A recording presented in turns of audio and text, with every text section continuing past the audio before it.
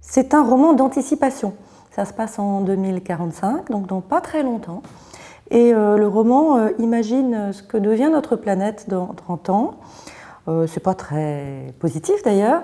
Et aussi, imagine ce qu'on pourrait essayer de faire, parce qu'on peut encore faire des choses pour euh, éviter que ça ne s'aggrave encore.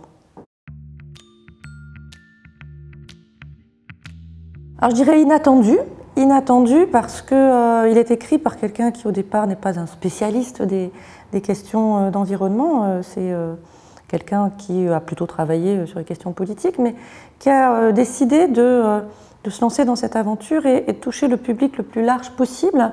Donc inattendu et utile, extrêmement utile.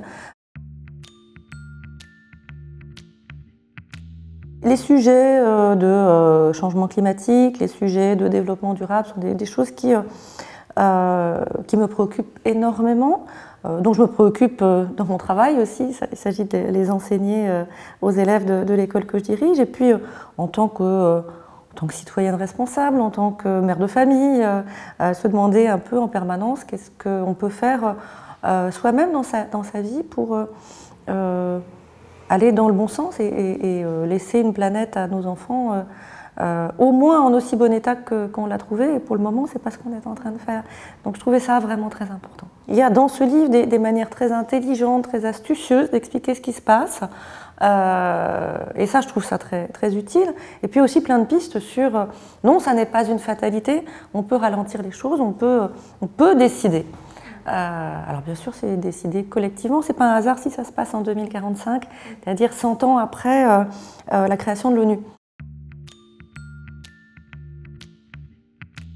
Je l'ai déjà conseillé à plein de gens, je l'ai surtout conseillé à la génération de mes enfants qui sont adolescents, pour leur montrer que les choses qui les préoccupent, ils peuvent agir dessus. Et puis euh, aussi, je dirais à la génération plutôt de mes parents, euh, ceux qui ont eu du mal à croire qu'il euh, se passait vraiment quelque chose, que la planète était en train de se transformer, que on avait une responsabilité, que tout ça était vrai, que ce n'était pas des lubies de, scientifiques.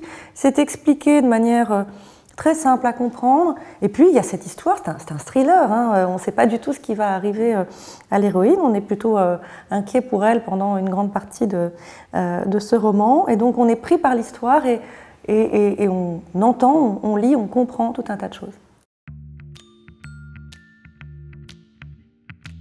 La planète se réchauffe et le climat se dérègle. Les saisons changent, les vagues de sécheresse et de chaleur sont de plus en plus fréquentes, de plus en plus intenses ainsi que les événements climatiques exceptionnels, les ouragans, les cyclones, les tempêtes.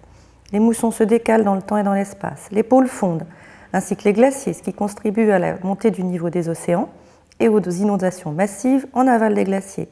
Les sols s'érodent, les déserts gagnent du terrain, les forêts vierges, les herbages, les pâturages, les pêcheries, les nappes phréatiques, les fleuves, les rivières, les zones humides, les récifs coralliens s'épuisent à vue d'œil, avec eux des milliers d'espaces animales disparaissent, dont certaines sont indispensables au cycle de la vie. Les océans s'acidifient, sont pollués, leurs ressources surexploitées. L'eau potable manque dans les régions toujours plus nombreuses et toujours plus peuplées.